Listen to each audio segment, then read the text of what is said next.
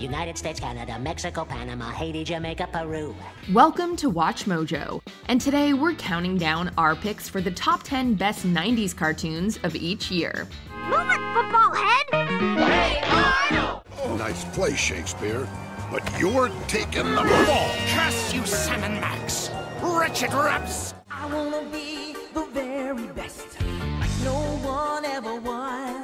For this list, we'll be looking at some of the most beloved animated series released each year from 1990 to 1999. What was your favorite tune from the 90s? Let us know in the comments.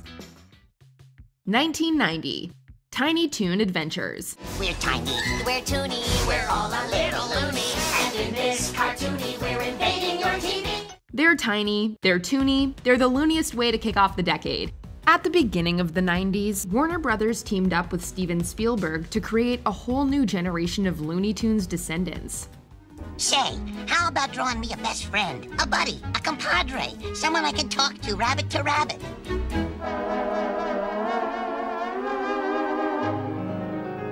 A girl? Welcome to the 90s we were introduced to Buster and Babs Bunny, No Relation, Plucky Duck, Hampton J. Pig, and many others. Mentored by the original stars of Looney Tunes, this all star cast entertained viewers every weekday with their zany adventures throughout Acme Acres and beyond, they went toe to toe with the spoiled Montana Max or ran for their lives from Elmyra. While kid version cartoons were nothing new at the time, Tiny Toons stood above the crowd thanks to its hilarious spoofs and relatable life lessons. I don't want to do this. I have to.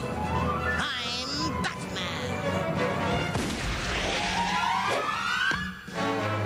1991, Rugrats. The strong era of Nicktoons began by giving us a better look at life through a toddler's eyes. Rugrats follows the daily misadventures of a group of imaginative babies when their parents aren't around or are just way too distracted. Angelica couldn't have broke the lamp because she was taking her afternoon nap. And I couldn't have broke it because I was... Hey, wait a minute. Angelica, didn't you already take a nap this morning before you came over? Along with the usual toddler shenanigans, this series definitely hinted at the dangers of spoiling or ignoring your children. It also never shied away from serious topics like growing up without a mother. We still tear up at Chucky's Mother's Day episode. This is her diary. She started keeping it when, uh, when she, when she was in the hospital. The last thing she wrote in it was a poem for you. With over 100 episodes, three theatrical films, and a sequel spin off, it still holds the record for one of the longest running and most iconic Nickelodeon programs. And that's without counting the 2021 Paramount Plus reboot. Angelica! Did Tommy do that? Yes, he did, Aunt Didi. Babies are so mean. 1992 Batman the Animated Series. My God. Yes. It would move me to tears if I still had tears to shed. 1992 was such a big year for cartoon superheroes that we struggled to pick which one deserved this spot. I don't understand. Is there a Bad problem? I had to serve you jerks from the college, but I ain't putting up with any trouble from their kind. Skin color prejudice?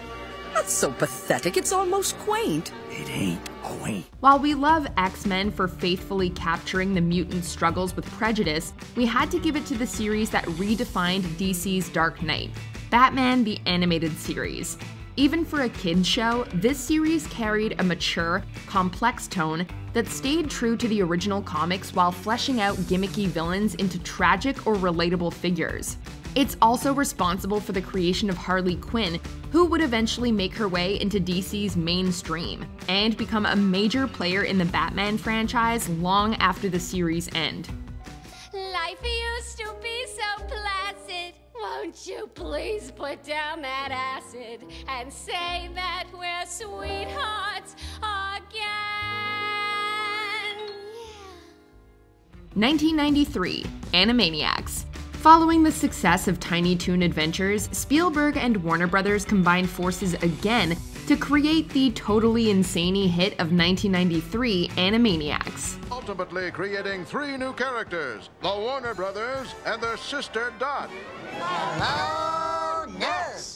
This animated sketch comedy series had no shortage of variety in shorts.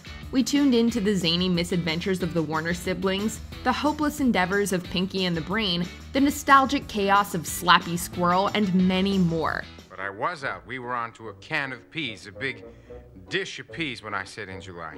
Oh, sorry. Yes, always. Even to this day, this show is praised for its satirical comedy, catchy songs, and being able to touch the hearts of both younger and older audiences. The series' massive success spawned multiple spin offs and a 2020 Hulu reboot. Fortunately, the new series manages to capture what made the original so iconic.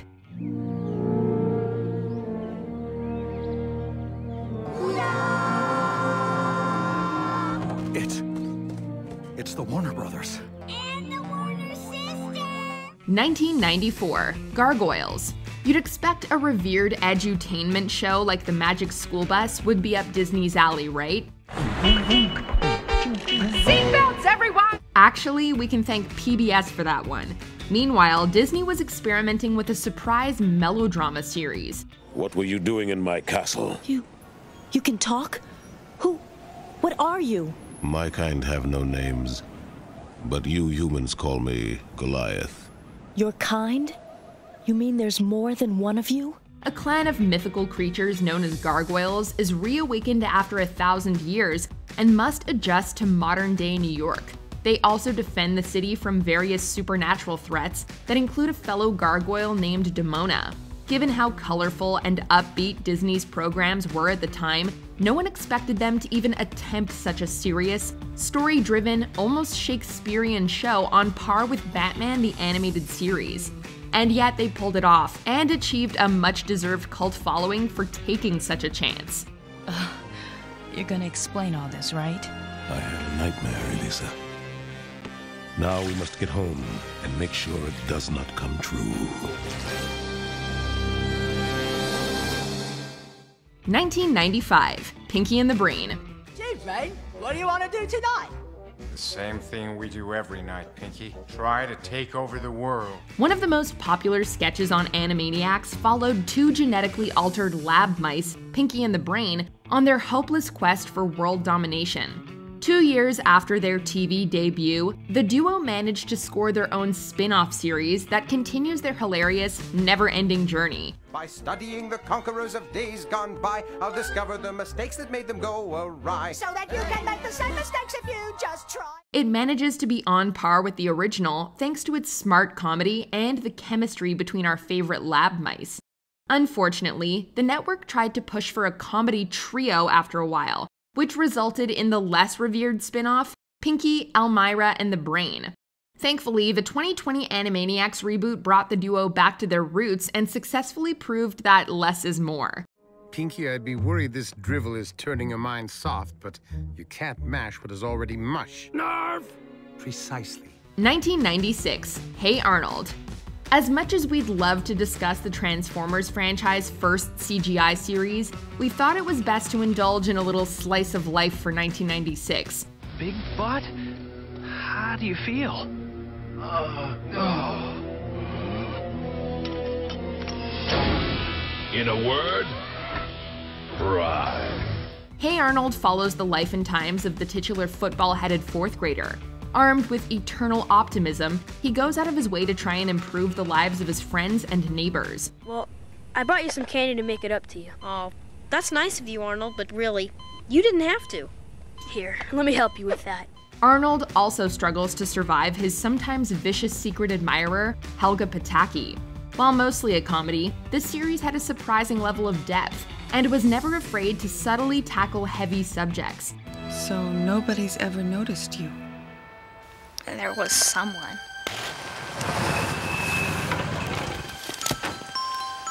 Hi, nice bow. Huh? After ending on a cliffhanger, the 2017 Jungle movie revival gave this Nicktoon the satisfying conclusion it deserved. Mom, Dad, you're really back! Hey, Arnold! 1997, Pokemon. Oh, hi, Pikachu! Pika. It's also known as electric mouse. It's usually shy, but can sometimes have an electrifying personality. I see what you mean. As much as we want to praise South Park as one of the most insightfully vulgar cartoons, we're giving 1997's entry to one of the most successful video game adaptations ever Pokemon. Hey, you kids faith healing in front of my clinic? Because I got a couple patients in here could use a good time machine. Get it? to the 90s! The anime follows young trainer Ash Ketchum and his partner Pikachu as they travel all around the world on Ash's journey to become a Pokemon master. Most video game adaptations are lucky enough to last a few years. My nose, what happened? The stink dissolved it off my face! Hmm? Oh, oh yeah, I almost forgot. The cartoonist never gave me a nose. Hey. But the Pokemon franchise has well surpassed expectations by lasting over two decades, issuing over 1,000 episodes and leading to 20 movies. This TV show was the first introduction to the franchise for many. It effortlessly wowed viewers with pulse pounding battles, comedic character quirks, and plenty of heartfelt moments that brought the Pokemon world to life. 1998 The Powerpuff Girls. Sugar, spice, and everything nice. These were the ingredients chosen to create the perfect superhero cartoon of 1998. Every day, Blossom, Bubbles, and Buttercup dedicated their lives to fighting crime and protecting the city of Townsville all before bedtime. The show was packed with wide pop culture appeal and humor, but what really made this Cartoon Network classic such a hit was its energetic pacing and how it never shied away from really intense fight scenes. Seriously, if you took just one look at these cute little girls, would you believe them capable of kicking a bad guy's teeth out?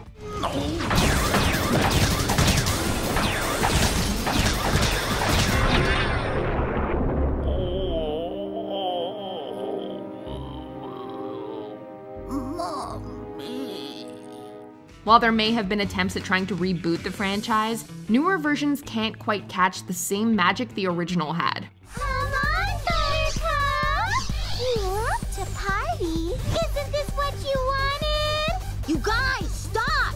This isn't you! Before we continue, be sure to subscribe to our channel and ring the bell to get notified about our latest videos. You have the option to be notified for occasional videos or all of them. If you're on your phone, make sure you go into your settings and switch on notifications. 1999 SpongeBob SquarePants. It was insanely hard to decide which cartoon from the end of the decade deserved to be on this list. Krusty Krab, yeah, yeah, yeah, yeah, yeah, yeah, pizza is the pizza, yeah, for you and year gave us the hilariously smart Futurama, the zany Ed, Edd, and Eddy, and the parody sitcom madness of Family Guy. They're as stuffy as the stuffiest of special interest groups. Make a joke about your bowels and they order in the troops. However, closing off the 90s is the Nicktoon that's become a household name at this point. SpongeBob SquarePants. It's practically impossible to find anyone who doesn't know of this plucky little square dude's misadventures under the sea. The show has given us too many quotable lines and iconic scenes to count. Is mayonnaise an instrument? No, Patrick, mayonnaise is not an instrument. It's no mystery how the late Stephen Hillenburg's passion project managed to survive for over two decades and become one of Nickelodeon's most memorable cartoons.